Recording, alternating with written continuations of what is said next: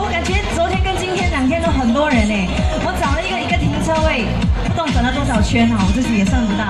啊，幸好最后有一辆车刚好出了，然后不然就没有位了，可能就要迟到。好，大家欢迎欢迎我们的零零七美食中心，我是七田。